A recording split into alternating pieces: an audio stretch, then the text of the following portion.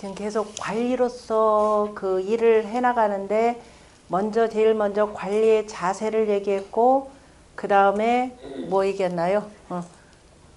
그래서 어, 관리의 자, 자세로서 뭐뭐 가지라 그랬어요? 불인지심, 백성들 불쌍히 여길 줄 아는 마음도 갖고 그 다음에 어느 한쪽으로 치우치지 말라. 그리고 그 다음에 그리고 나서 뭐라 그랬나요? 어, 곧고 그죠? 아니야 고다에 대고 치우치지 말고 그 다음에 상대방의 말을 잘 듣고 그죠? 잘 듣고 헤아릴 줄 좀 알아라. 말뿐만 아니라 뭐까지 살펴라? 행동거지, 낯빛까지, 그죠? 낯빛까지 두루두루 살펴야 되느니라. 그리고 나서 그 다음에 어떻게 해야 돼요? 그 다음에 다시 또 너 스스로를 돌아봐라. 너는 상대방한테 말을 하고 네 행동거지는 어떤지 또 다시 돌아봐라 이 소리예요. 끊임없이 자기를 먼저 되돌아보고 되돌아보고 이른바 유학에서 얘기하는 계속 그죠? 수신의 도로에 나아가서 얘기하는 겁니다. 그래서 성궁기계하고 총증한극이라 이렇게 되어 있습니다. 살필성자죠. 몸궁자. 네 몸을 살피고 그 다음에 기계입니다. 또 살피고 살펴라. 우리말로는 살피고 살펴라인데 잘 보시면은 살필성자의 성이라고 하는 것은 작을 소자에다가 눈목자가 되는 거죠.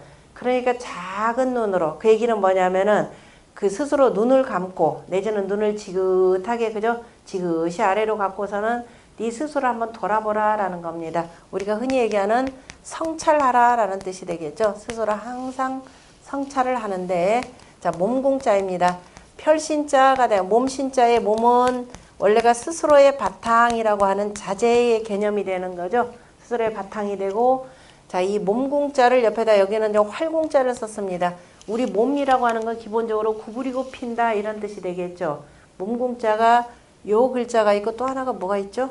몸공이라고 할 때 곧게 한다라고 할 때 음, 단어를 까먹어버렸네. 잠깐만요. 몸공자가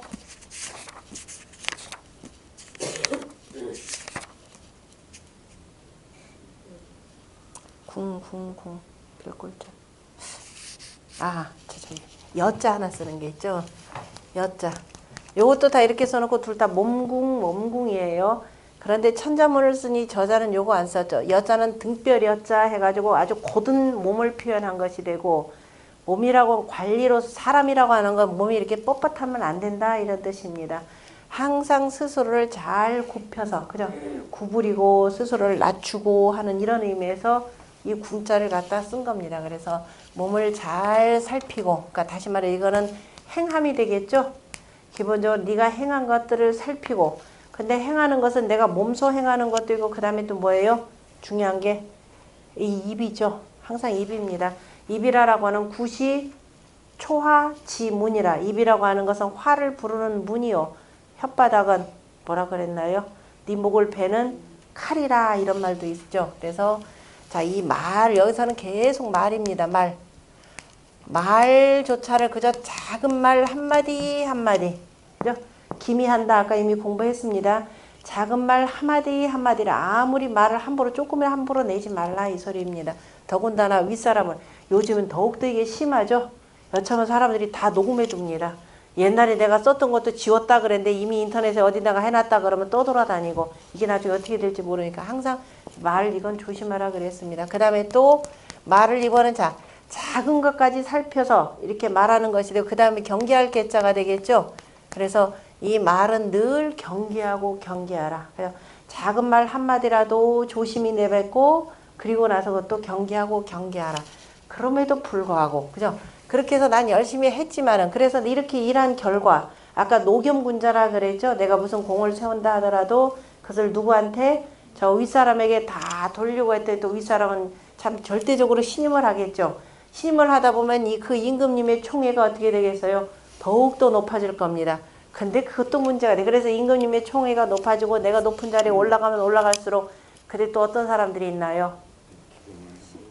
예, 시기하고 질투하고 어떻게든지 끌어내리려고 하는 사람들이 많습니다. 그러니까 그것까지를 염두에 두셔야 된다라는 겁니다. 총증한극이라 임금님의 총애가 증가하면 높아가면 높아갈수록 자 끝까지 이르는 것에 저항한다 이렇게 했습니다.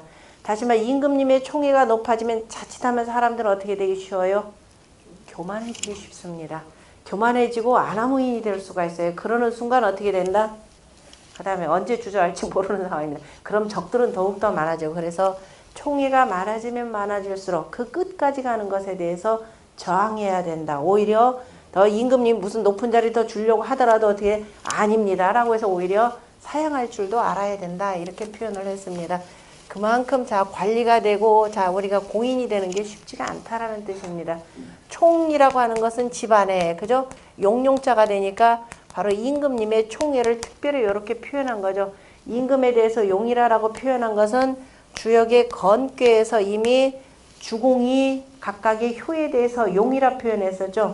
주역의 이 하늘괴 자체가 이미 바로 이 하늘의 이그 신비로운 이치를 바로 용이라 표현했고 저 높은 곳에서 백성들에게 어진 덕을 베푸는 임금을 바로 또 용이라 이렇게 표현했습니다. 잠용이 되고 혈용이 되고 그 다음에 청 용이죠. 뉘우치는 용 하루 해가 끝나니까 그래서 뉘우치는 용. 그 다음에 여기는 뛰는 용, 양용이라고 표현했고 다섯 번째 절은 뭐예요? 비룡이라 그랬죠. 비룡제천 이견대인이 되고 맨 꼭대기가 바로 뭐냐? 항룡이라 이렇게 표현했습니다. 맨 밑, 아, 여기 아까 혈룡제전 이견대인에서 혈, 혈룡 맨 밑에는 자 잠자는 용 또는 잠겨 있는 용 아직 세상에 드러나지 않은 잠룡이라 이렇게 표현했죠. 요는 쓰지 않고 잠룡물룡이 되고 대신에 항룡 자리에 매 자리는 없지만 실제적인 제일 높은 자리에 있다 보니까 옛날 상황이나 좀 물러간 사람들 뭐 태우나 이런 사람들이 되겠죠. 자기 현재 뭐 특별한 그 실권은 없는데도 불구하고 어떤 사람들이에요. 대단히 오만무쌍한 사람이 되겠죠. 자칫 잘못하면 그래서 그 주공이 뭐라고 표현했냐면 항룡은 유해라 이렇게 표현했습니다. 항룡은 뉘우침만 있다 이렇게 표현했죠. 그래서 항상 요 끝까지 가는 것을 경계해야 된다. 그래서 총증한극이라라고 할 때 저 항자가 결국은 뭐냐면은 그죠 이 끝까지 가서 사람이 교만해지면은 그죠 교만해지다 보면은 무슨 일이 터지게 되고 그러면 아이고 내가 그때 조금 겸손할 걸 이렇게 후회하는데 그때는 이미 기차가 다 떠났습니다. 그래서 요거 자체를 자 경계하라라는 의미의 총증한극입니다. 증이라고 하는 것은 흑토자가 되고요. 가운데라는 이런 뜻이 되겠죠. 그 다음에 증이라고 하는 것은 햇볕이 점점 여기 창문으로 이 창문 사이로 빛광자의 요 의미가 되는 거죠. 밝은 빛이 점차 점차 많아진다 이런 뜻이 되는 겁니다. 그래서 그래서 가운 점점 불어나. 그래서 빛, 빛이 많아지면 많아질수록 땅에서 어떻게 돼요? 식물들이 더 무럭무럭 자라죠. 그래서 무럭무럭 더 자라서 커나가는 모양을 표현했고요. 항이라라고 하는 것은 자 이게 목항자죠. 사람의 머리가 되고 목, 목의 모양을 나타낸 겁니다. 그래서 목에 해당되고 그 목, 목이라고 하는 건 뻣뻣하죠. 뻣뻣하는 거니까 그 뻣뻣하지 않도록 손으로 자주 좀 문질러 줘야 됩니다. 그래서 제발 좀 고개 좀 숙여라. 속일 줄좀 알아라. 우리 사람이 뒷목이 뻐근해지면 어때요? 여러분들 건강법 중에 하나가 나이 들어갈수록 뒷목 뻐근해지죠. 그럼 옛 분들이 어떻게 하냐면은 그 이 그냥 건조 마찰 손으로 계속 몇 번 계속 아, 몇 번씩 하- 하시면 돼. 세수할 때도 그냥 그냥 세수만 하지 마시고 물 묻혀 가지고 이쪽 목한열 번 각각 각각 열 번씩 아니면 조금 더 심하다 그러면 한 삼십 번씩 하다 보면 뒷목 시원해집니다. 이거 수시로 하세요. 건강법 중에 하나입니다. 그것이 목이 뻣뻣해지는 것을 방지해 주는 겁니다. 목 뻣뻣해지면 뒷목 땡긴다 그러잖아요. 그 정도 병이 오면은 예, 문제가 크니까 항상 그렇지 않도록 어떻게 한다? 손으로 잘 마사지 해줘라 이 글자입니다. 항. 그 다음에 극이라고 하는 글자는 자 극은 참 의미가 많죠. 음, 극이라라고 할 때 극은 우리가 남쪽의 끝을 뭐라고 한다? 남극 그죠? 북쪽의 끝은 북극 가운데는 황극 임금 자리를 황극이라라고도 표현을 합니다. 극이라고 할 때 극 속에는 무슨 극이 들어가 있냐면 자 태극이라라는 것이 있죠. 태극이 있고 자 이제 송나라 때의 그 주렴계라고 하시는 분은 태극 무국이 태극이라 이렇게 표현했죠. 어, 태극이 무국이요. 자 커다란 이 극, 극자 속에는 뭐냐면 덩어리극, 그 다음에 끝극, 그 다음에 다할극, 다다 이런 뜻이 들어가는데요. 일단 글자부터 보고 할까요? 나무목이 되는 거죠. 나무목이라고 하는 나무는 자라는 겁니다. 자라는데 극자의 극자를 보면 이거 옆에 있는 이 글자는 자주극자예요. 자주극인데 옆에 있는 마칠 요자의 요 글자는 바로 여기에 나오는 음양의 태극도의 요 부분을 이렇게 표현했다라고 보시면 되는, 됩니다. 이쪽에서 자 이쪽이 오른쪽이 되는 거죠. 오른쪽이 되고 이쪽은 왼쪽이 됩니다. 그래서 오른쪽에서 왼쪽으로 계속 이렇게 이렇게 진행되어 나가는 우선하는 입체에 의해서 이렇게 표현했습니다. 그래서 하늘의 이 기운이 양기운이 계속 돌고 돌고 하는 모습에서 자주라는 뜻으로 쓰였고요. 이렇게 돌고 돌고 하면서 어떻게 나 만물을 생생한다라는 뜻이 되겠죠. 여기가 동방목에 해당되기 때문에 목이라고 하는 것은 만물을 생하는 것. 그래서 음양의 기운이 돌고 돌면서 만물을 생하게 하는 것이 바로 뭐다? 극이라 라는 뜻입니다. 이 극에다가 태자를 쓴 것은 클 태자의 의미가 해당되는데요. 크다라고 하는 것은 천지인 삼재를 표현한다 그랬죠. 하늘이 있고 밑에 땅이 있고 그래서 여기서 양기운이 땅 속으로 들어와서 만물이 이렇게 자라는 것이 바로 대라는 뜻입니다. 그래서 대라는 말 자체가 바로 천지인 삼재 요 세 가지가 그래서 잘 만나서 그 다음에 점 있죠. 그래서 이게 뭐냐면 씨앗이 된다 이런 뜻입니다. 그래서 태자는 클 태자도 되고 무슨 태? 서리태, 백태 하는 바로 콩태자입니다. 콩이라고 하는 것도 양쪽에 껍데기가 있고 가운데 속에 신운이 있죠. 그 신운에 해당되는 것이 바로 태자입니다. 그래서 우리가 보통 태극이라라고 할 때는 바로 씨앗이 있는 이 극을 표현하는 거죠. 그 태극에서 그래서 이제 우리가 이 무궁한 요것을 바로 뭐냐면 무국이라 그냥 큰 덩어리다. 너무나 커서 뭐냐면 없는 것과 같은 것이 바로 무국의 개념이고 거기에서 뭔가가 하나 씨앗이 생겨나는 조짐을 우리가 태극이라 표현합니다. 그래서 무국 같은 건 아예 점으로 표현하고 너무 큰 거. 그 다음에 태극이라라고 하는 것은 이제 뭐 하나 생겨나는 것이 되고 요것이 그 씨앗에 의해서 이렇게 갈라져서 나오는 것이 바로 바로 음양 유국에 해당되는 겁니다. 어, 그죠? 태극에서 공자는 이제 태극에서 양이 생 양이 하고 양과 음이 생겨나고 이렇게 변해요. 양과 음에서 또 음양 소장일치에 의해서 뭐가 나와요? 봄, 여름, 가을, 겨울이라고 하는 양이 생 사상이라 그죠? 사상이 생겨난다 이렇게 표현을 했습니다. 그래서 극이라고 하는 것은 가운데 극도 되고 다 한다라는 여기서는 지금 다 한다라는 뜻이 되는 거죠. 이 끝까지 가는 것을 경계해야 된다라는 의미로 표현한 글자입니다. 우리나라의 국기가 바로 태극기죠. 음양 태극도에 의거해서 만들어진 국기입니다. 이렇게만 해도 되는데, 그죠? 되는데 여기다 뭐를 썼느냐면 건곤, 감리 이렇게 썼죠. 건곤. 그 다음에 감, 리. 무슨 뜻이에요? 요 우리가 8개 가운데 요 4개는 어떻다? 엎어지거나 메어치거나 똑같은 모양이 되는 거죠. 이를테면 산괴 같은 경우가 엎어지면 뭐가 돼요? 우레괴가 되죠. 그 다음에 불 바람괴 같은 경우는 엎어지면 뭐가 돼요? 택괴가 되죠. 이렇게 해서 바뀌는데 요 네 가지는 엎어지나 메어치나 똑같은 모양이니까 무슨 괴라 한다? 부도전괴. 그죠? 붓다옹에서 그 넘어지지 않는 괴라 이렇게 표현합니다.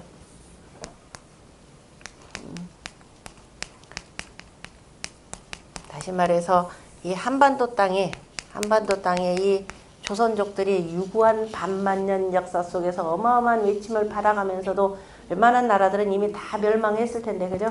끝까지 살아남아서 오늘날 더군다나 땅덩어리는 얼마나 좁습니까? 그런데 뭐 세계 뭐 몇강 뭐 경제력을 이렇게 견주는 나라니까 어쨌든 대단하기는 대단한 나라입니다. 자 우연찮게 태극기를 또 이렇게 이 각 나라의 국기 가운데에서 우리나라처럼 이 뭐예요? 이 철학이 그저 담겨 있는 태극기는 없죠. 어. 그러니까 대단히 그저 이 신명이 있는 그 족속이라 이렇게 보시면 될 것 같습니다. 그 다음에 태욕근치 한이 임고행직이라. 그래서 이렇게 경계하고 그런데 계속 옆에서 소인배들이 득식을 거리면서 계속 뭐를 일을 꾸미고 있거들랑 어떻게 한다? 물러가라 이렇게 돼 있습니다. 주역에 보면 이제 천산 돈괴가 있는데요. 자, 밑에 이제 음기운이 두 개가 자라나니까 바로 이제 뭐냐면 양들은 이렇게 도망갈 준비를 하고 있습니다. 이렇게 물러갈 돈이라고 표현하는데요. 은둔한다라고 할 때는 둔으로 읽고요. 주역이 괴명으로 읽을 때는 돈이라 이렇게 읽습니다. 그래서 은둔한다. 그러면 달월자에다가 돼지 시자니까 밑에 음이 두 개가 지금 이렇게 오기 시작하니까 양들이 지금 물러가고 있는 상황입니다. 물러가는데 여기 같은 경우는 이제 이 집안으로 표현하자면 한 집안을 책임지고 있는 가장이 되고 내가 맡아야 될 책임 있는 사람이니까 못 따라는 거죠. 그래서 이건 개돈이라 이렇게 표현했습니다. 매어 있는 돈이라 매어 있어서 이거 이리저리 움직이지도 못하는 경우가 되고 자 여기 같은 경우는 호돈이라 해서 뭐 대신짜리 내가 싫으면은 그죠 평양감사도 나 싫으면 그만이지 그래서 이걸 호돈이라 표현하고 이건 개돈이라 매어 있는 그 돈이라 이렇게 표현했고 여기 자리도 뭐 이것도 뭐예요 뭐 뭐 이 평양감사가 뭐 임금 내 싫으면 가는 거니까 가돈이라 해서 아름답게 물러간다 이 소리입니다. 근데 임금 자리를 함부로 내던지는 게 아니죠. 일을 마치고 쉴 때 쉰다 이런 의미에서 해석을 해야 되고 근데 저 중국의 화산을 갔더니 화산 꼭대기에 뭐라고 하냐 가돈 선향 이렇게 했더라고요. 아름답게 물러간 사람들의 그 신선의 고향이라 그랬는데 그 임금이나 해당되는 얘기인데 스스로들 그 높은 자리를 나가고 싶은 생각이 여전했던가 봅니다. 제일 좋은 돈이 이 돈이죠. 뭐 내가 책임질 것도 없고 그저 등 따숩고 배부르게만 물러가면 되니까 이걸 비돈이라 이렇게도 표현을 합니다. 그래서 군자의 은둔을 이와 같은 방식으로도 묘사를 했고요. 그런데 우리가 물러가고 싶어도 물러가지 못하는 경우가 있죠. 아이고 나 엄마 노릇 그만 할래. 나 아빠 노릇 그만 할래. 이거 안 되는 거죠. 어쩔 수 없이 그저 집안에 매여 있다 보니까 내가 그저 할 일을 할 수밖에 없는 경우 그런 걸 우리가 개돈이라 이렇게 표현합니다. 자, 그래서 태욕근치. 그런데 이제 잠옷. 자, 욕되면 이렇게 되는 거죠. 잠옷. 뭐 욕되어서 위태로우면 이렇게도 표현하고 그죠? 태욕. 위태롭게 욕되면은 그렇게 되면 어떻게 된다? 부끄러움에 가까우니 그럴 때는 임고행직이라 이렇게 표현했습니다. 저 숲속으로 나아가는 것이 어 행자가 이거 아닌 다행행자로 썼죠? 그죠? 어, 임고행직이라 그죠? 숲속으로 자 물러가는 것 숲속으로 가는 것이 어, 어 숲속으로 행직 맞죠 이걸로? 어, 어. 그죠? 예, 행복하게 나아가야 한다. 나아가는 것이 행복하다 이렇게 되어 있습니다. 이거 같은 방식으로 태욕 근치 부끄러움에 가깝고 임고라야 이렇게 되는 거죠. 저 숲속으로 저는 생활로 나아가야 이것이 나아가는 것이 행복하다 낫다 이렇게 표현을 했습니다. 사람이 물러갈 때 물러갈 줄 알아야 되는 거죠. 이 정도가 돼 있으면은 그죠? 이 뭐 뭐 먹고 사는 문제야. 뭐 그 다음에부터 알아서 또 다른 방식으로 해결하면 되겠고 계속 소인배들하고 같이 어울리다 보면은 같이 구렁텅이에서 헤어나오기 어렵습니다. 그래서 그 정도가 되면 물러가는 것이 좋다 이렇게 표현했죠. 임고행직이라 그랬습니다.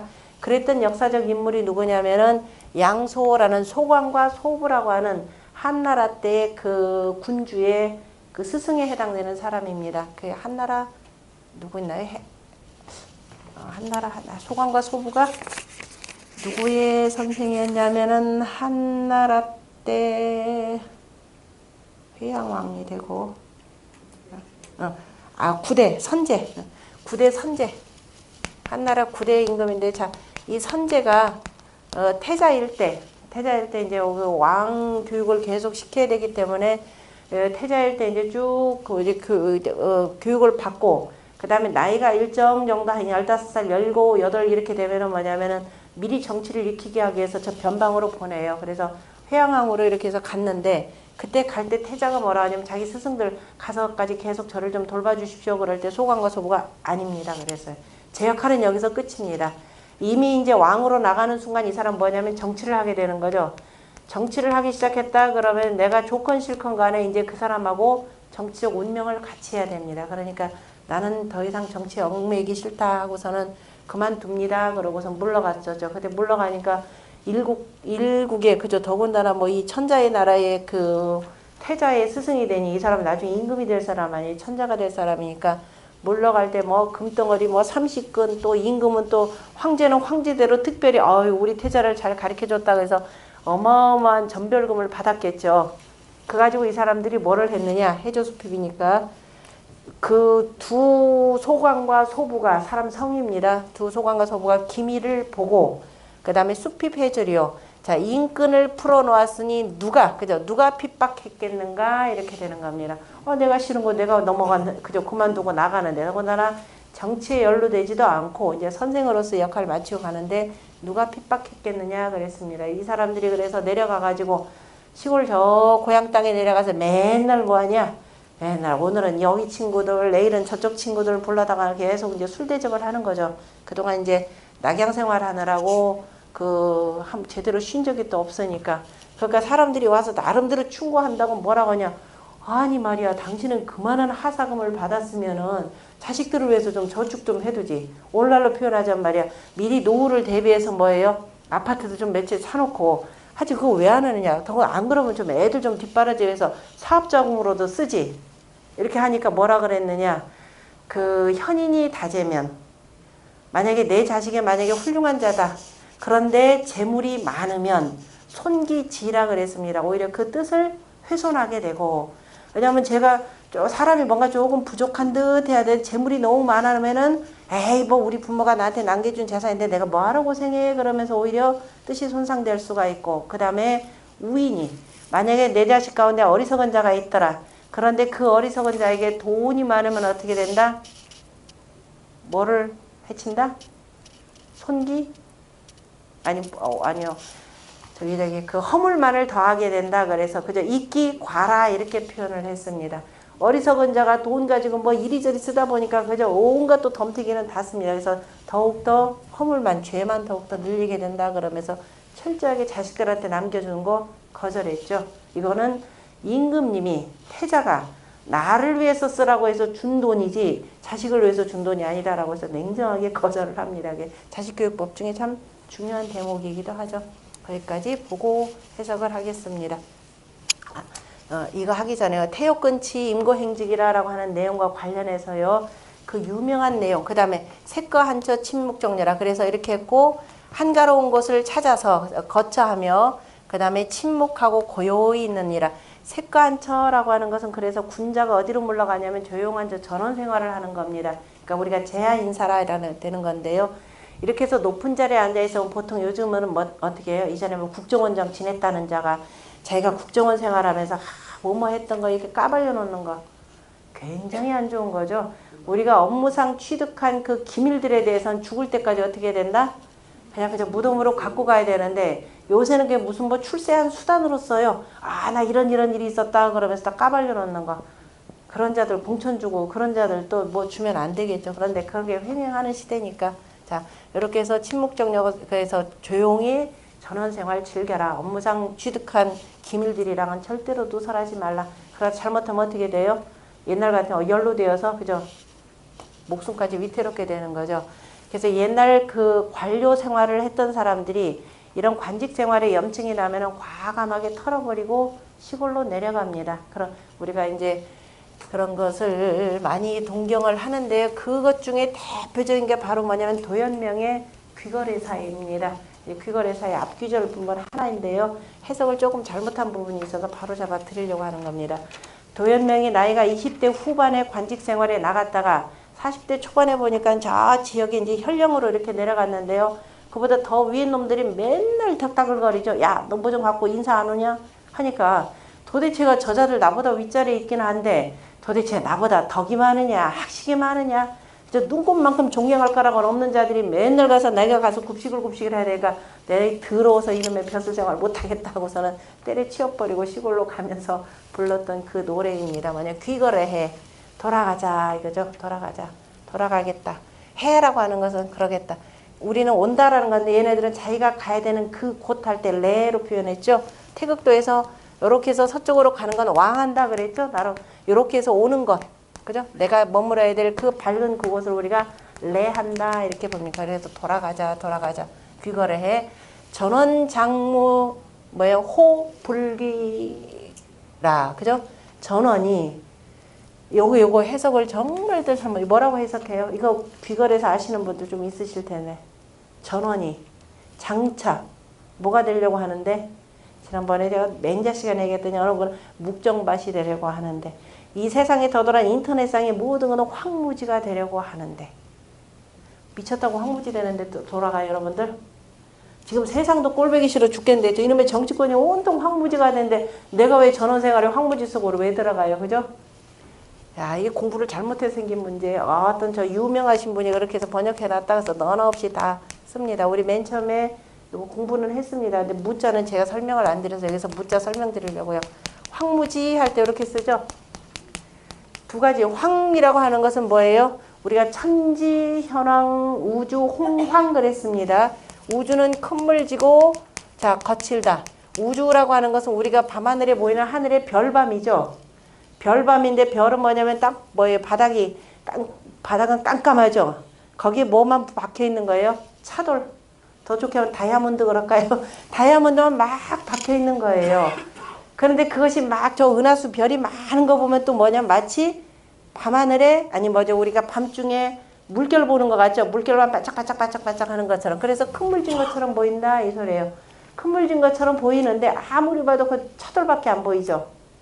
다이아몬드밖에. 아무것도 안 자라니까 그게 뭐냐면 황이라 이렇게 표현했습니다. 다시 말해서 큰 물이 져서 홍수가 나서 다 휩쓸고 가서 아무것도 안 남은 거죠. 물이 이리저리 휩쓸고서 풀이라고 하는 겨우 풀이나 조금 보일까 말까 아무것도 안 보이는 황무지라 이제 황입니다. 그죠? 거칠다 해서 들으죠. 그런데 우리가 황무지라라고 할 때 두 가지 의미가 있어요. 하나는 이 황무지 개념은 뭘 가지고 표현하느냐면 농사를 지을 수 있는 땅이냐 아니냐인데 농사를 지을 수 없는 땅을 황무지 이렇게 표현하죠. 그럼 그게 그런 땅이 두 가지가 있습니다. 하나는 이런 땅이죠. 그야말로 모래와 자갈밭으로만 이루어진 곳. 그 다음에 또 하나는 어떤 곳이에요? 풀만 잔뜩 자라는 곳. 그럼 우리 청산에 살리라 라고 하는 노래 있죠. 청산별곡에도 있고 청산에 살리라는 뭐 그것도 뭐 유행가 가사인데 어디 가서 살겠다 그랬어요? 나는 숲을 우거진 그죠? 나는 숲을 우거진 청산에 살으리랐다지 누가 황무지에 가서 살으리랬다요. 그죠? 바로 이거예요. 무라고 하는 것은 자, 이때 무라고 할 때 무자는 아예 없다는 게 아니라 그랬죠. 여러분들 이미 공부했습니다. 무라고 하는 거 없는 것이 아니라 뭐가 있다? 숲풀이 우거져서 그죠? 풀이 우거져서 속이 깜깜하니까 아무것도 없는 것과 같더라. 사람이 들어갈 수가 없다라는 이 무자예요. 그러니까 숲을 우거진 이 소리입니다. 그죠? 이게 숲을 그래서 요 글자가 되고 그 홍범에서도 서경에서도 보면은 적절히 그죠 이 해와 달과 이것이 계절이 적절하게 빛과 그 다음에 비와 바람이 적절하게 잘 때 맞춰 오면은 뭐냐면 서초 그 풀들이 번무하리라라고 이렇게 표현한 게 있습니다. 아 번성하다 번무할 때 그때 무자도 어, 번무하리라라고 했을 때 무자도 이렇게 씁니다. 없다라는 것이 아니라 그 지역이 그냥 잔뜩 우거졌다 이 소리예요. 그러니까 나는 뭐예요? 전원이 그죠? 전원이 우거진 이거죠? 전원이 우거져 있는 장차 전원이 우거지려고 하는데 어찌 돌아가지 아니하리요 이 소리예요. 이걸 황무지라 한다고요. 큰일 날 소리입니다. 다시 말해서 이 속에는 뭐냐? 이 사람이 벼슬을 그만두고 떠날 시점이 언제다? 언제다? 봄이라 이 소리입니다. 그죠? 봄이 되었고 지금 내가 이 추운 겨울 한번 했는데 도대체가 이놈의 정치가 나아질 기미가 하나도 안 보이더라. 야 조금 있으면 저 전원이 다 숲을 우거지려고 하는데 내가 거기 나가서 편안하게 쉬어야 되겠다라고 해서 언제 썼는지까지가 드러나는 겁니다. 언제 관직을 그만둔 했죠. 그렇게 해석을 하셔야 돼요. 누가 어디서 이렇게 썼다고 해서 그 그대로 갖다 뺏겼으면 더 이상 공부하신 분들이 아닙니다. 저한테 죽으라고서 열심히 공부했는데 남들 똑같이 하는 황무지 그렇게 하면 그 어리석은 거가 되는 거죠. 그 다음에 기, 자의, 심의, 형력이니 그죠? 이미 내 스스로가 그죠? 마음 마음 고생 때문에 심이니까 그죠? 마음 고생으로 해서 실은 어디까지 망가졌다? 이 몸까지 그죠? 몸까지 참으로 피로해졌으니 여기죠? 수고로워졌으니 해 초창이 독비리요. 그죠? 어찌해자 추창입니다. 서글프고 참 비통한데 그죠?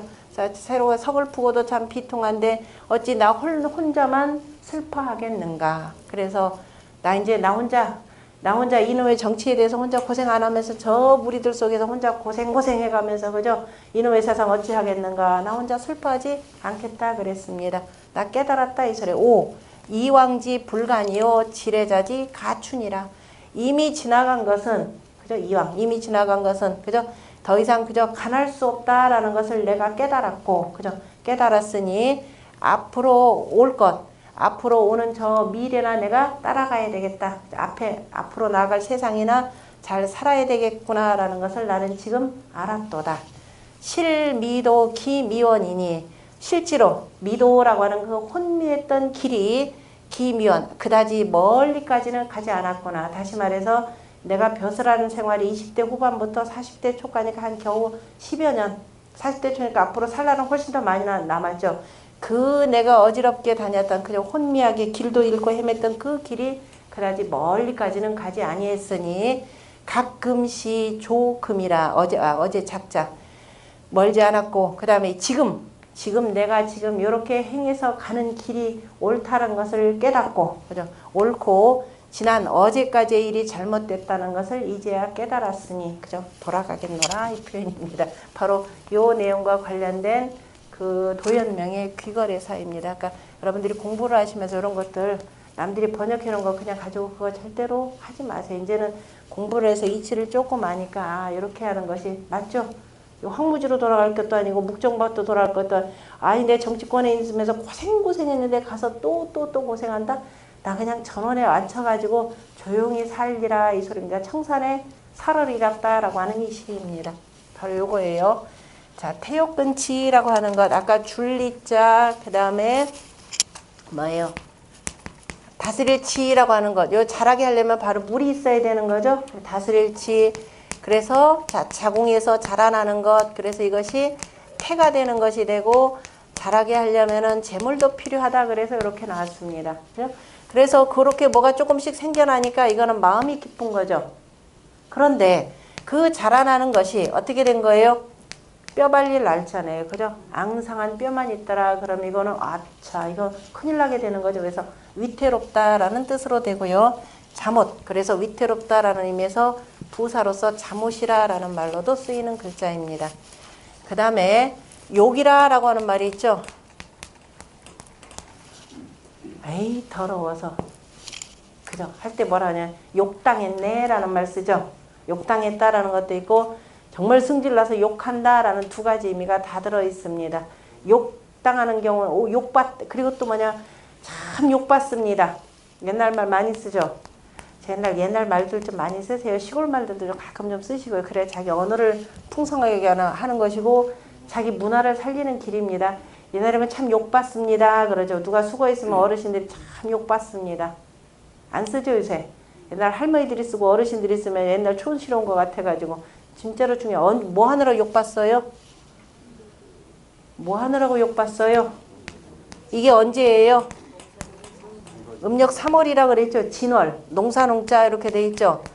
3월에 이제 씨 뿌리 밭 갈아서 씨 뿌리느라고 엄청나게 고생해서 이때를 돌보느라고 헤아릴 촌자라 그랬죠. 마디초나 이게 더 이상 헤아릴 촌자 이게 그죠? 여기에 손목이고 그 다음에 이렇게 팔뚝이고 딱 하면 뭐더라? 이게 이렇게 이렇게 그거는 여기가 뭐다? 촌구맥이라 그랬잖아요. 이걸 보고 아 건강이 어떻다 해서 헤아린다. 아, 아까 요 글자가 빠졌구나. 잡는다라고 할 때. 그죠? 요렇게 쓰고 헤아릴 촌자, 어, 어, 헤아릴 촌자. 어쨌든 요 때를 헤아린다라는 겁니다. 그래서 농사 지느라고 참 고생했습니다. 욕바수 하는 얘기죠. 욕바수가 되는 것이 되고 그래서 욕을 보았다라고 하는 것은 참 수고로우셨다라는 말이 되고요. 욕을 당했다라고 하는 것은 그죠? 내가 정말 이렇게 고생을 했는데도 저자들이 오히려 나를 그죠? 깔아 뭉개버리는 경우 그런 경우가 욕당했다 두 가지 의미 다 들어가 있습니다. 그 다음에 가까울 근자가 설명드렸죠. 어, 그 다음에 부끄러울 치자 부끄럽다라고 하는 것은 누가 나에 대해서 이러쿵저러쿵 하는 것이 내 귀 속에 들어오는 거죠. 그래서 내 마음이 심히 그죠 안 좋다라는 의미에서 부끄럽다라는 겁니다. 이걸 속자로 그 다음에 그러다 보면 아무것도 못하고 가만히 그치니까 이렇게 쓰는데 이건 속자가 되고 이것이 정자입니다. 마음 심자가 들어가 있는 거. 누가 뭐라고 하는 소리를 듣고 내 마음이 조금 찔리거나 마음이 좀 안 좋은 것을 바로 이렇게 표현했고요. 그 다음에 임고행직이라 라고 할 때 임자는 수풀 임자. 대표적으로 그 형성문자. 그 다음에 뭐라고 했죠? 회의 문자에 해당되는 거죠. 나무 목자니까 나무가 두 개가 있으니까 숲이 되는 것이고 나무가 세 개 있으면 숲을 삼자가 되는 바로 대표적인 회의의 문자에 해당되는 것이 되고 그 다음에 고자는 저기 잘 모르시는 분들 예쁜들이 뭐라고 해요 이거?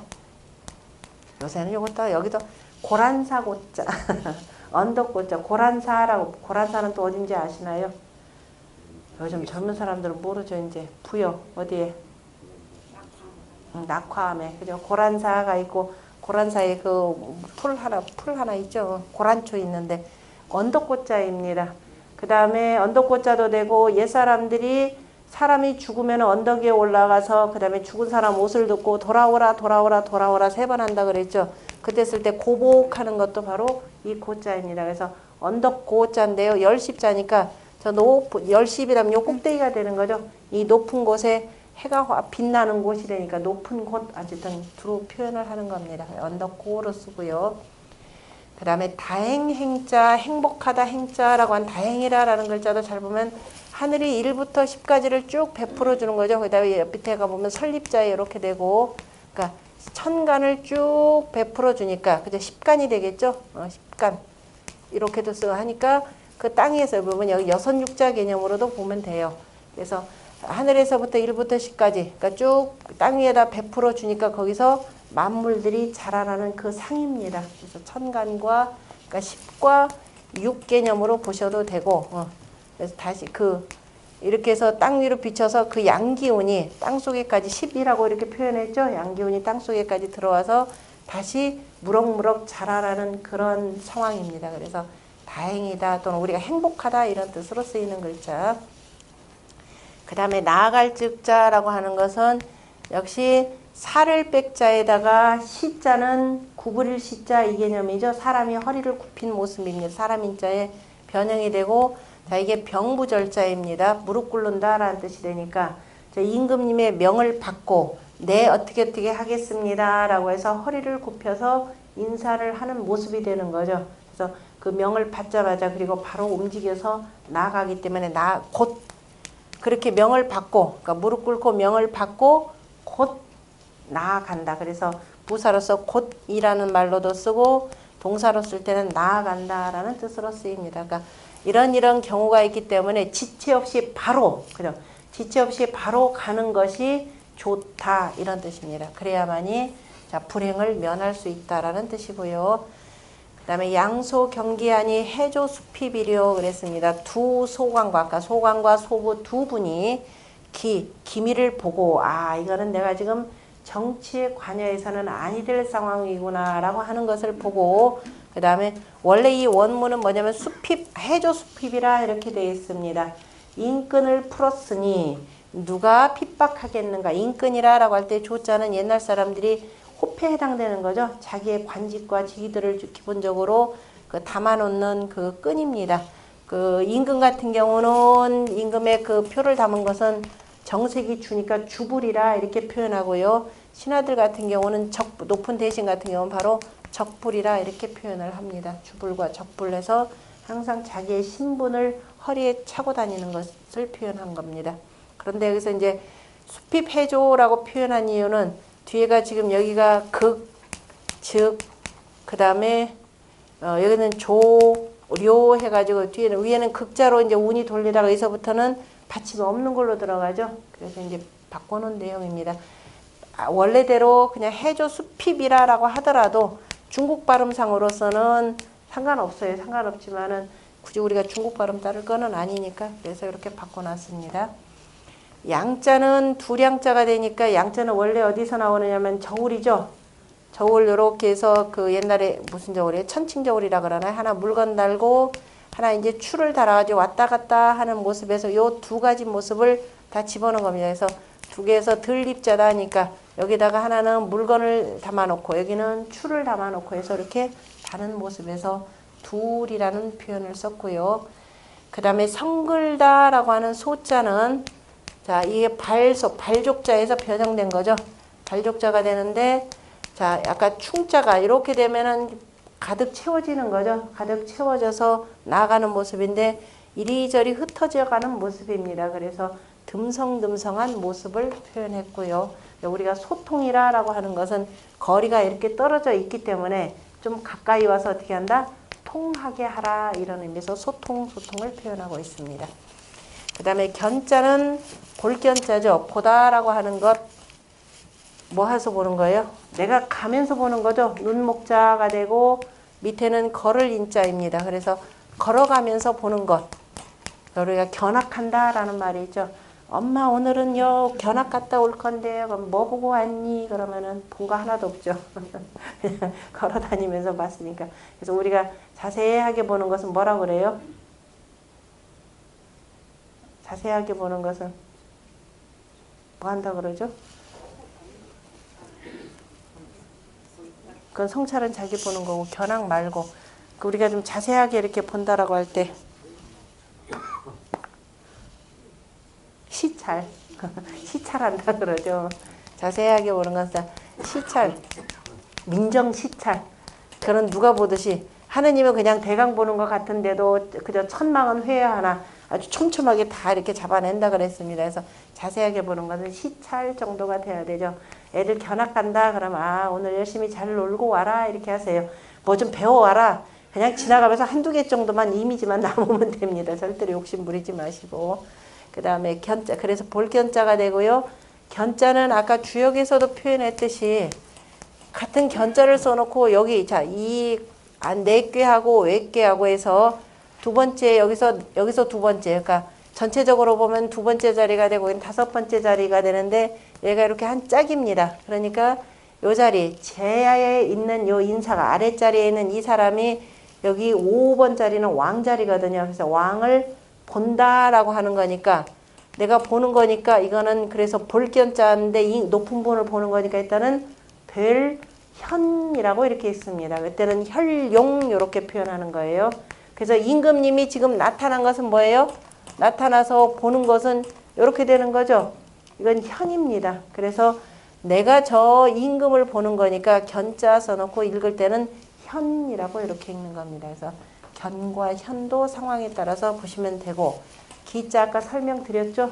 음, 그 다음에 수핍 해조리오에서 누구 숫자의 수는 말씀 원자에다가 잠깐만요. 세 추자입니다.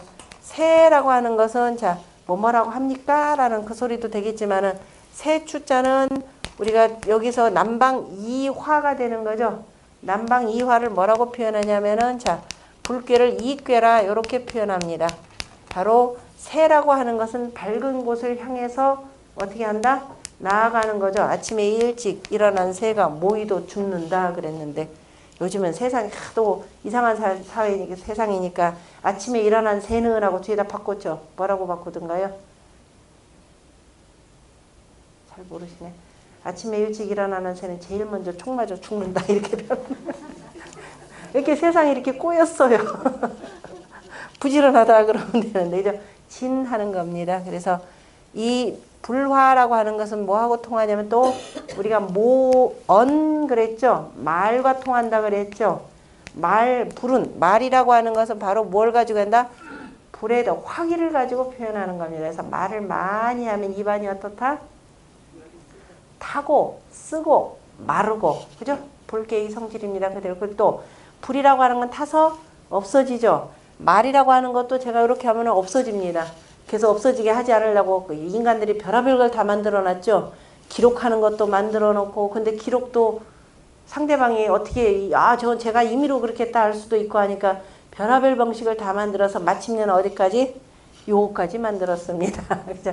녹음을 다 하고 그죠? 너 분명히 지난번에 그렇게 얘기했잖아 하고서는 이렇게 그 말이라고 하는 것은 바로 이겁니다. 수라고 하는 것은 이 말로서 묻는다 이런 뜻입니다. 말로서 묻는다 개념으로 보시면 되고 그 다음에 핍박이라라고 할 때 핍자요. 핍자는 자 우리가 복은 나누면 뭐가 된다 그랬나요? 이게 복이죠. 복이라라고 하는 것은 자, 저 하늘에서 이 일월성신 자 베풀어 주는 겁니다. 해와 달과 그 다음에 이 바람과 뭐 등등을 잘 베풀어줘서 받전자죠. 두루두루 해서 여기서 농사진 이 모든 것들을 다 합입니다. 이게 합의 변 다 함께 먹을 수 있도록 만들어 준 것이 복입니다. 그래서 옛날에 우리 밥그릇 보면 밥그릇에 뭐가 있어요?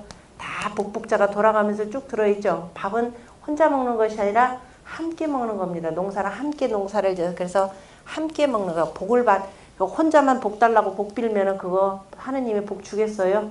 절대로 안 줍니다. 내 기복신앙은 어지간히 발달돼 있죠. 어, 그래서 복이라고 하는 것은 함께 그저 모두가 다 함께 비는 것이 바로 복이고 저 복은 나누면 좋죠. 나눌 수 있죠 복은. 그래서 나눠진 것이 바로 뭐예요? 부가 되는 거 정부 할 때 바로 이거죠. 어. 그 다음에 그런데 저 복이 가면 어떻게 되겠어요? 복이 가면은 다 두루두루 먹었는데 그저 없어졌습니다. 복이 가면 어떻게 돼요? 핍진해지죠. 괴로워지는 궁핍해지는 거죠. 궁핍하다라고 할 때 핍진하다 이겁니다. 궁핍해지는 겁니다. 그런데 사람이 입을 잘못 놀리면은 어떻게 돼요? 입 삐뚤어질 와자가 되겠죠. 입 삐뚤어지는 병. 화를 입는 거죠. 화는 어디서부터 나오냐? 이 말을 잘못 놀려가지고 입이 삐뚤어진다 이렇게 표현합니다. 그래서 옛날에 구한 와서라 그러면 저 사람 천벌 받았네 속으로 이렇게들 얘기해요. 요즘엔 이제 조금 달라지는 거니까 자, 어, 그래서 화가 되는 것이 되고 어쨌든 간에 그 사람이 병든다라는 건 마음을 잘못 먹은 거죠. 항상 마음을 올곧게 잘 막으면 뭐 병도 마음으로 이렇게 다스리는 겁니다. 근데 이 화는 어떻게 돼야 돼요? 빨리 가는 게 좋죠. 화는 나누는 게 없죠. 그 이건 나눈 거 없습니다. 복은 나눴는데 화는 나누는 게 없습니다. 그런데 이 복은 가면은 궁핍해지고 화는 가면은 좋죠. 화는 가면은 좋습니다. 이게 뭐예요? 허물이죠. 그런데 그 화가 가기는 갔지만은 여전히 허물은 남아 있는 거죠. 그러니까 우리는 돌아온 탕자 안 된다 그랬잖아요. 그죠? 그래도 이미 공자는 자 이렇게 하고도 다시 몸을 깨끗하게 하고 오는 사람은 내가 그래도 가르치겠다 그랬으니까 지날 과자가 허물이라라는 뜻. 허물은 이미 껍질은 그래도 남아 있어요. 그래서 어 내가 뭐 허물 될 건 없고 그래도 옛날에 내가 이랬기 때문에 허물은 좀 있지요 라고 인정하는 것도 괜찮습니다. 그러나 지금은 아닙니다. 해야 되겠고 그래서 허물은 과거에 지나간 거죠 이미 그래서 지나가다라는 뜻으로 씁니다. 그래서 과거에 그러면은 과거에라고 할 때 과거에는 그죠 나도 좀 허물이 좀 있는 사람이죠. 스스로 인정하는 겁니다. 과거 과거 얘기하지 마세요. 그러니까 앞으로 뭐만 남아 있다 우리는 여기 있잖아요. 그죠? 여기서 얘기했던 아까 기왕지 불간이라 그랬죠. 이미 지나간 거 더 이상 탓하지 말라. 그 다음에 앞으로 뭐만 있다? 내자 갖추라. 오는 것만 쫓아가라 이 소리. 미래만 열심히 앞으로 열심히 살려고만 노력해라. 뭐 과거에 자꾸 자꾸 연연해가지고 그거 되씹어가면서 그때 내가 관직에 있을 때 말이야 그놈이 나한테 뭐 이런 거 하지 말라 이 소리예요. 이미 그거 다 정리했으면은 기왕지 불간이라. 공자도 표현하시는데 기왕이라 그죠? 이미 지나간 것이라 더 이상 말하지 말고 기왕이라 불간이라. 원래 공자가 말씀하신 논어에서 나오는 그 말씀입니다. 그죠? 그 다음에 오는 거 앞으로 앞으로 미래 미래가 얼마든지 있는데 거기로 나아가기를 바라는 거지. 공부하시는 분들 마찬가지입니다. 아, 내가 옛날에 조금 공부 좀 더 했으면 좋았을 걸. 이미 지나간 거. 지금부터라도 열심히 하시면 앞으로 몇 살? 100살, 120살, 누구 뭐 150살 이렇게 얘기하시죠. 음. 자, 그 다음에 핍자 그렇고 해자, 뿔해 아니 풀해자죠. 뭘 푸느냐 하면은 자 글자는 우리가 이렇게 쓰는데 잘 보면 여기가 칼도자에다가 소자를 변형한 글자입니다. 뿔각자죠. 소뿔이죠. 소뿔을 단김에 뺀다 이 소리입니다. 소의 뿔 다시 말해서 우리가 그 소를 소를 농사에 쓰기 시작하면서 나오는 글자가 이제 여러 가지가 있는데 그 중에 대표적인 글자가 요 글자가 하나가 있었죠. 이거 설명드렸죠. 소 뭐예요? 뿔에 가로된 나무 횡 그랬죠. 소 뿔에 가로된 나무 횡. 왜냐면 소는 이렇게 해서 뿔이 자라니까 얘를 지금 일시키다가 아우 귀찮다 그래서 자꾸 일시키면 어떻게 되겠어. 얘도 성질이 있는데 사람 들이받으면 어떻게 돼요? 소뿔에 받치면 사람 잘못하면 죽어요. 그죠? 크게 다칩니다. 그래서 소뿔이 그저 사람을 들이받지 못하도록 그 뿔 양쪽에 내가 원래 뿔각자의 변형이라고 했잖아요. 뿔 양쪽 사이에다가 이렇게 큰 저기 나무를 놓고서는 이렇게 칭칭 감아놓은 것이 요글자입니다. 그래서 솥불에 가로된 나무 횡자가 되는 거죠. 나무 횡자가 되고 이건 이제 저울대로 쓸 때 저울대 형이라고 쓰고 그래서 가로 횡이라고 쓰는 글자가 되고요. 이제 이러다가 이제 사람들이 기술이 저 그러면 이렇게 굳이 하지 말고 그러면은 어, 이왕이면은 소가 어릴 때, 그죠? 어릴 때 미리 저 불인두르에서 소뿔을 단금질을 하면은, 그죠? 낫지 않겠는가 해서 잘못하면 소 교각사루라는 말이 있죠? 소 뿔을 베려고 하다가 잘못 소를 죽인다라는 말, 그만큼 단금질이 어렵습니다. 그래서 소의 뿔을 지금 떼어내는 이 모습이 바로 해자입니다. 그래서 푼다라고 하는 건 소뿔을 뭐예요? 자라지 못하도록 그냥 불인두로 아니면 칼로 이렇게 베고 그 칼도 불인두로 하는 거죠. 아주 시뻘겋게 잘 달궈가지고 그 푸는 겁니다. 그래서 뒤에 나오는 그저 뒤에 혹시라도 이를 화를 미연에 방지하는 것이 바로 해입니다.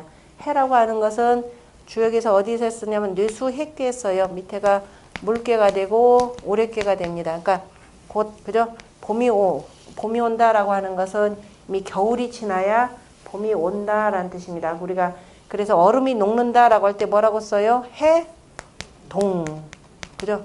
또는 뭐 해, 빙. 그 다음에 원한을 푼다라고 할 때 해, 원 이런 말 다 쓰죠. 그래서 뭔가 맺히고 웅어리진 것들을 푸는다라고 할 때 다 쓰이는 말입니다. 그 다음에 인끈이라라고 할 때 인끈이라라고 하는 것은 도장인자가 되는 거죠. 인끈이라고 하는 거. 다시 말해서 그 사람의 신분을 그저 이렇게 나타내는 뭐 표 등등을 매달고 있는 끈 개념이 되는 거죠. 그래서 이제 허리춤에 차는 건데요. 그때 그 끈이라라고 하는 것은 또 그저 실을 여러 가닥으로 해서 엮어서 만들기 때문에 또 차자를 이렇게 썼습니다. 그죠? 실한 가닥으로 바느질이나 뭐 한두 가닥까지 하지 나머지는 여러 개를 많이 그저 겹쳐서 하기 때문에 저 끈을 인, 어, 끈 조라고 표현하고요. 또는 뭐죠? 이 멜조 뭐 등등으로 쓰는 건 글자고. 그 다음에 이렇게 해서 이제 관직을 그만두고 그러니까 소관과 소부의 예를 들어서 종효라고 하는 사람이 처음에 이제 그 영모죄에 연루되었다가 그 다음에 이제 다시 임금님으로부터 사면을 받고 양나라 그 아니 누구죠? 위나라 문제가 되는 거죠. 이 문제로부터 사면을 받고 다시 들어오라 했지만 이미 나이가 많았습니다. 나이가 70이 넘은 몸이고 그다음에 자기 몸을 또 움직이기도 어렵죠 그래서 이 사람은 젊어서 워낙 전쟁터도 많이 다니고 있기 때문에 나중에 특별히 이 군주가 저 허락을 합니다. 이 종효에 대해서는 나중에 군이라라고 하는 그 봉호까지 내리고요. 그 다음에 그 몸이 불편하기 때문에 가마를 타고 어디까지 그 이 정전 안에까지 와도 괜찮다라는 허락을 받은 이게 어마어마한 특혜가 되는 거죠. 그래서 특별하게 나왔는데 아무리 원래 관직이 높다 하더라도 우리나라 이 경복궁을 중 조선의 왕조를 기본으로 해서 보자면은 아무리 춥고 아무리 네가 나이가 들었다 하더라도 어디서부터 내려서 걸어온다? 지금의 광화문 앞이 아니라 지금의 사헌부 그러니까 지금 어디냐 그게 세종문화회관 앞자리 세종문화회관 앞자리 그 아, 세종문화회관 자리가 원래 사헌부 자리입니다. 다시 말해서 공무원 감찰기관이죠. 그 앞에 뭐가 있느냐 해치가 그 앞에 두 마리가 있던 거예요. 해치가 있어 가지고 이놈들 혹시라도 잘못하면 요 해치가 들이받는다 이 뜻입니다. 거기 있던 게 나중에 광화문 앞으로 옮겨져 가지고 마치 그 광화문을 지키는 뭐죠? 그 아닙니다. 법의 심판관이 바로 해치가 되는데요. 어, 어, 그렇게 해서 그 앞에서부터 걸어서 광화문까지 들어오고 들어오면은 그 다음에 이제 거기 어디에 흥예문 앞에 내그 뭐야 그 궁궐의 관원들이 이제 이렇게 쭉 해서 어떻게 어떻게 이제 안내를 하게 되는 거죠. 그래서 이제 관직을 그만두고 이제 어디를 가느냐? 아, 내가 옛날에 말이야 뭐 하면서 회고록 써가면서 뭐 비밀을 폭로한다거나 이런 짓 하지 말라 이 소리입니다. 색관처 이게 군자죠. 편한 그저 한가로운 곳을 찾아서 거처하며 침묵하면서 고요히 있는다라는 뜻입니다. 색자는요 찾을 색자입니다. 원래 녹근 삭자죠. 녹근이라라고 하는 건자 실을 실명자가 되고 밑에서부터 이렇게 해서 위로 이렇게 꼬아 나가니까 열십자라고 하는 것은 두 가닥을 계속 이렇게 해서 꼬아 나가는 것입니다. 그래서 녹근이 되는 것이 되고 녹근이라고 하는 것도 녹근뿐만 아니라 그 모든 꼬는 것은 다 이렇게 표현합니다. 그래서 우리가 저기 케이블카도 뭐냐면 삭도 이렇게 표현을 하는 거죠. 그래서 이제 실들을 잘 찾아가면서 또 계속 가서 보태가면서 해야 되니까 찾는다라고 이럴 때는 색이라고 하는 글자로 읽습니다. 여기서는 얼 일부 책들 가운데는 그저 아까처럼 저런 방식이에요. 아까 뭐냐면 여기 이거를 뭐 황무지라고 해석하듯이 요렇게 요렇게 하다 보니까 내가 쓸쓸하게 거쳐한다 그래서 이걸 삭자로도 이렇게 읽는데 그런 아니죠. 왜냐하면 이 사람은 이미 오히려 이런 상황에서는 오히려 다 관직을 그만두고 가는 것이 본인 스스로가 지극히 편안하기 때문에 오히려 행복한 생활입니다. 그래서 사기라 읽지 마시고요. 색거라고 해서 이미 여기서 뭐냐면 한가로운 곳이라라는 말이 나왔죠. 그러니까 만약에 이거를 뭐냐면 뭐 상막하다 이렇게 하면 이거 전혀 어울리지가 않는 겁니다. 그래서 한가로운 것을 찾아서 거처한다라고 하는 것은 거자는 옛날부터 오랫동안 살던 그 땅 이렇게 되는 거죠. 우리가 가끔 가다가 자기 호 지어놓고 무슨 무슨 거사 이렇게 표현하는데 대체로 고향 땅에 가서 거처하는 사람들은 무슨 무슨 거사 그러면 좋겠죠. 음. 안 그러면 거사 그러다가 또 뭐라 그러죠? 하나 또 하나 쓰는 말. 예, 그래서 어쨌든 거사 그러면 대체로 자기 고향 땅에 내려간 사람들 그래서 이렇게 하면 되고 그 다음에 한자 어, 위에 있는 요 글자는 동굴 뭐, 아, 이집 멈자에 해당되는 글자나 마찬가지입니다. 주검시라고 하는 것은 오래오래 시동이라라고 할 때 그것은 주장한다라는 의미의 시동이 되고 그 다음에 주검시자 요거 외에는 거의 안 쓴다 그랬습니다. 대부분 요거는 요 지배 개념으로 해서 된 지복자 여기서 볼 수 있듯이 그죠? 이렇게 쓰는 것을 알 수가 있고 또는 동굴 개념에서 그 옥벽이나 피할벽이라고 할 때 그때 쓰는 이런 의미로 쓰이니까요. 이거 구분 잘 하시면 되고 그 다음에 한가롭다라고 하는 요 글자 한가롭다 우리는 지금 한가롭다라고 하는 걸 두 가지를 씁니다. 요걸로 이거는 한가롭다라는 뜻이 되고 자 이것도 한가롭다라는 뜻이 되는 거죠. 두 개 근데 의미는 참 다릅니다. 요 한가롭다라고 하는 것은 문 사이로 달빛이 그죠? 교교히 마당에 가득 차 있는 모습입니다. 그래서 집안이 지극히 평온한 모습이 되고 요 한가로운 것은 별로 안 좋은 거죠. 집안에 뭐가 있는 거예요? 나무가 자라는 거죠. 풀도 아니고 지금 나무입니다. 자, 우리는 그 황하 문명권은 기본적으로 이 뭐예요? 그 북이 대략 37도 선에 이렇게 걸쳐 있기 때문에 남양집을 짓는다 그랬죠. 농사 짓는 지역이기 때문에 남양집을 지어야 되고 그 다음에 여름에는 비가 많고 겨울에는 해가 거의 동남쪽으로 해서 저 서남쪽으로 이렇게 넘어가잖아요. 그래서 겨울은 또 굉장히 추우니까 햇볕을 최대한 많이 받으려면 어떻게 해야 된다? 남향집을 짓고 그 다음에 여름에는 비가 많이 오니까 마당에는 뭐를 심는다? 잔디를 심는다? 아니죠. 잔디를 심으면 큰일 나요. 나무도 이렇게 심으면은 왜냐하면 물이 잠겨져 있어가지고서는 집이 마를 새가 없습니다. 눅눅해지고 집안에 습기가 많다라고 하는 건 사람한테 습병이 걸리는 거예요. 그래서 절대로 큰 나무는 안 심고 심어봤자 뭐 심는다? 울 밑에 봉숭아 정도만 심고 나머지 정원은 전부 다 어디로 간다? 뒤로 간다. 그럼 마당 정자의 정자가 어떻게 돼요? 뒤로 뜰 정자의 정자가 뒤에서 걷는데 북방 임자가 들어가잖아요. 그죠? 자체가 임이 그리고 궁궐에서 모든 뭐예요? 후원이다라는 후자를 썼죠. 집 뒤에다 짓는 겁니다. 마당에는 그냥 마당 자체는 광장이에요. 그죠? 잔치 연회하는 자리가 되고 타작하는 마당이 되고 여름날에는 뭐예요? 멍석 깔아놓고 뭐, 뭐죠? 모깃불 피워놓고 거기서 뭐도 끓여 먹고 하는 이런 자리가 바로 마당입니다. 그래서 집안에 이렇게 되는 것은 나무가 자란다. 저 집은 어떤 집이에요? 망한 집. 그냥 아무도 더 이상 찾아오지 않는 집. 그러니까 요 한자 함부로 쓰시면 안 됩니다. 오히려 잠, 자, 풍류가 있는 집. 아, 그래서, 아, 참, 이제 평화롭고 한가롭진 집이다 하면 이렇게 쓰셔야 됩니다. 그 다음에 그런, 어, 그리고 또 사이간이라고 하는 것은 이거는 일이 되는 거죠. 해와 달에 뭐가 있냐면은 우리가 뭐죠 태양력과 태음력 차이라 그랬죠. 그래서 이제 그 사이를 윤달로 채워준다라는 의미에서 그런 의미의 사이 간자입니다. 그 다음 한자 그 다음에 첫자 고처라고 하는 것은 자 범호자니까 범이라라고 하는 것은 어디를 얘기 나타냐면 서방태죠. 서방태는 규류유묘 필자삼에서 일곱 개의 그 서방의 칠수를 쭉 합치면은 우리가 무슨 상이 나오냐면 백호상이 나온다 그랬습니다. 사신 가운데 백호상이 되고 그래서 이 서방태의 백호가 되고 서쪽이라라고 하는 것은 해가 이제 지려고 하는 때가 되죠. 그래서 농사 짓는 사람들은 이미 이때가 몇 시냐? 2시, 3시, 5시 이때 되면 벌써 이미 들어가야 되겠죠. 5시 이렇게 벌써 이제 들어갈 준비를 하는 겁니다. 들어가서 그죠? 들어가서 편히 쉬는 겁니다. 그죠?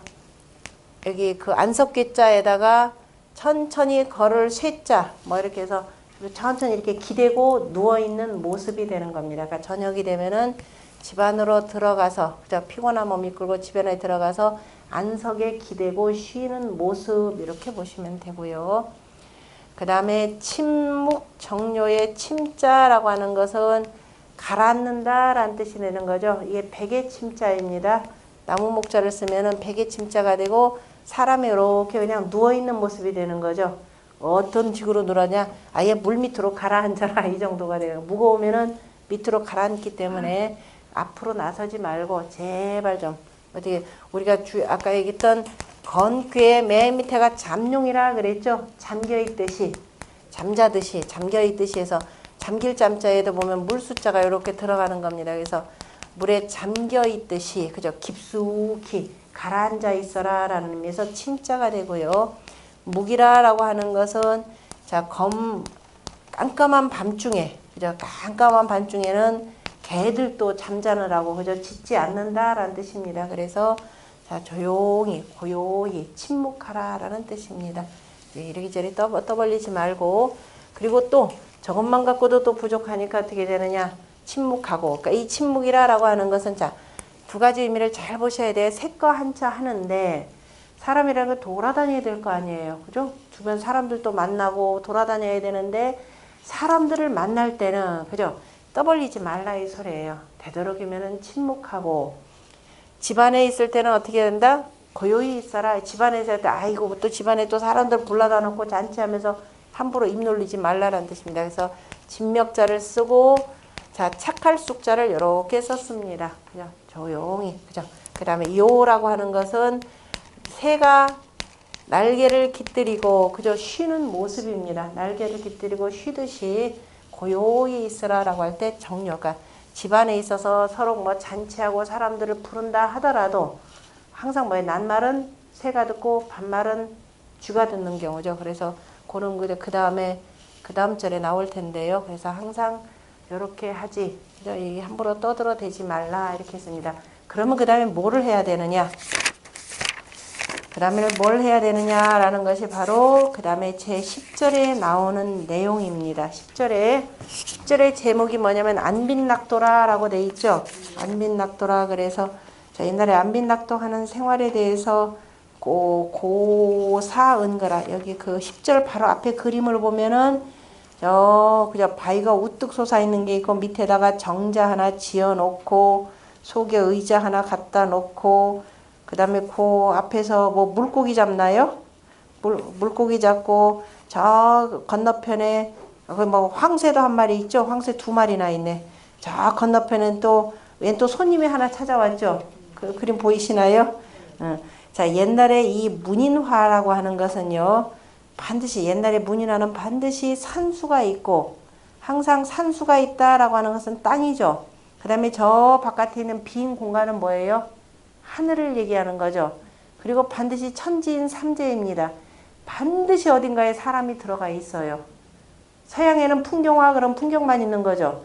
우리는 항상 간에 천지인 삼재 이치에 의해서 그림을 그리게 되는 겁니다. 그래서 이렇게 이렇게 살면서 누구하고 버타나요? 소나무하고 버타나요?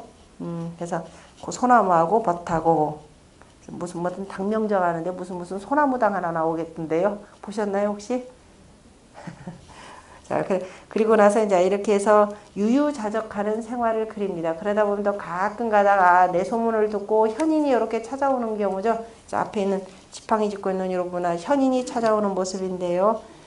어, 우리나라의 그 심사정이라고 하는 화가 그린 고사은거죠. 어, 저 도가 아주 높은 선비가 은둔한 생활을 바로 그린 겁니다. 그래서 자 이렇게 해서 그만두고 저 전원 생활을 하다 보면은 내가 옛날에 관직 생활할 때는 녹을 많이 받았죠. 녹을 많이 받아가지고 참 여유롭게 살고 했는데 지금은 나오는 녹은 없죠. 나오는 녹이 없다 보니까 당연히 가난하게 살 수밖에 없습니다. 그래서 그 은둥군자의 생활이라고 하는 것을 우리가 예로부터 뭐냐면은 안빈낙도라 이렇게 표현합니다. 가난함에 편안히 하면서 그죠? 가난함에 편안히 하면서 낙도, 도를 즐긴다라고 표현했는데요. 낙도의 도 개념은 바로 뭐냐면은 낙천 지명에 해당되는 내용입니다. 그러니까 하늘이 나에게 준 명을 그죠? 어, 알고 그것을 즐거워하라라고 해서 하늘을 즐거워하면서 명을 알아야 된다 이렇게 표현하는 거죠. 이것이 옛날 군자가 바라는 가장 이상적인 생각이기도 합니다. 그 다음에 공자 같은 경우도 뭐라고 표현하냐면은 용지즉 그죠? 가용지. 내, 내가 등용되면은 가서 행하고 그 다음에 나를 버린다. 사지적 장이라 그랬습니다. 어 군주가 내가 싫어서 아이 다 뭐야 나 그만 둬라 그러면은 그래 나도 들어가서 그냥 은둔한다. 그, 그것뿐이다 라고 했습니다. 공자가 제자 가운데 안연에 대해서 이렇게 표현했죠. 그렇게 할 수 있는 사람은 그저 등용되면 나가서 내가 도를 행하고 그 다음에 쓰이지 아니하면은 그 다음에 나를 버린다 그러면은 그만두게 하면은 은둔할 수 있는 사람은 너하고 나뿐이다 이렇게 표현했죠. 그랬더니 옆에서 듣고 있던 자로가 조금 질투가 났던가 봅니다. 선생님 그러면은요 선생님께서 삼군을 행하신다면 다시 말해서 선생님이 만약에 그 오늘 웬만한 제후가 되신다면은 누가 제후로 임명해 주신다면 그 군사를 누구에게 맡기겠습니까? 물어보죠. 이 있죠 어린애나 어른이나 똑같아요. 선생님 누구를 더 편애한다 그러면 꼭 그거 못 잡아. 선생님 저는 어때요? 네, 자로가 그랬어요. 그때 선생님 뭐라 그러셨냐? 야 이놈아 나는 포코빙아를 그저 사지 무해자. 다시 말해서 호랑이를 맨손으로 때려잡고 저 하순물을 그저 맨발로 걸어서 건너려고 하는 놈. 그리고 그러고 나서 그, 그러다가 죽어도 뉘우칠 줄 모르는 놈은 나는 절대로 안 쓰겠다 이렇게 표현했죠. 그러니까 이른바 자로의 과강함을 조금 나무라시는 말씀입니다. 자, 군자라고 하는 것은 기본적으로 낙천지명을 할 줄 알아야 된다. 그렇게 해서 아까 여기서 색거 한 차고 침묵 정료라라고 했는데 가서 첫 대목이 뭐라고 나오던가요? 그래서 어, 국어 어, 심론하고 이렇게 나오죠. 국어 심론하고 뭐라고 나온다고요? 어, 살려 소윤이라 살려 소윤이라